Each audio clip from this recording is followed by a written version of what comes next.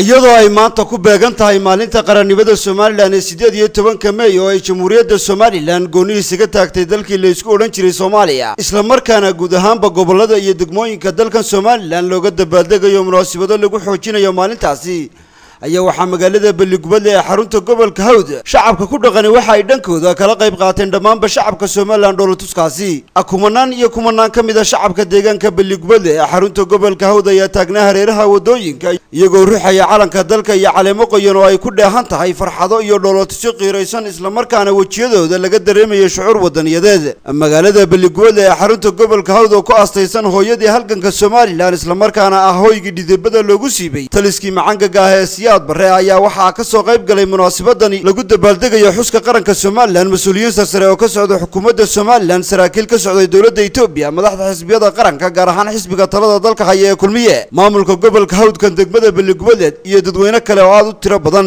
ugu horreynba waxaa socod guclaha ku soo maray jidadka magaalada beligubadle ciidamada qalabka sida kuwaasi oo ay salaan ka qaadanayeen madaxda iyo mas'uuliyiinta dowladda oo ay ka mid ahaayeen. Wasiirka wasaaradda dibadejinta somalilan axmed cabdi kaahin wasiir ku-xigeenka arrimaha dibadda mawlid maxamed ibraahim guddoomiye ku-xigeenka koowaad ee xisbiga talada dalka haya kulmiye mujaahid maxamed kaahin axmed xogayaha guud ee xisbiga kulmiye xasan siciid yuusuf xildhibaan mataan horre xildhibaan axmed nuur kijaandhe suldaan maxamed suldaan xasan bare guddoomiyaha gobolka hawd ibraahim xaaji xasan cali duqa magaalada beligubadle cabdi iimaan jaamac siyaasi maxamed ibraahim qabo iyo mas'uuliyiin kale dhammaanba mas'uuliyiintu madasha waa ay ka hadleen waxaana ay isaga daba mareen muhiimadda ay maalintani u leedahay qaranka jamhuuriyadda somalilan iyagoo carabaabay in halkani ay halkani ay tahay hooyadii halganka somalilan ee beligubadle waxaana ka mid ah hadaladooda sida tan beligubadle maanta u odhanayaa kelmaddaan wuxuu codsanayaana odhanayaa waxa weeye. Beligubadle waa hooyadii halganka. Nin waliba intuu yidhaaho yaanu iska tegi. Madaxda qaranku intay tidhaahdo yaanay tegi. Madaxda kale baarlamaanku intay yidhaaheen yaanay tegi. Wax waa loo qabtay heer degmaa la soo maray ah.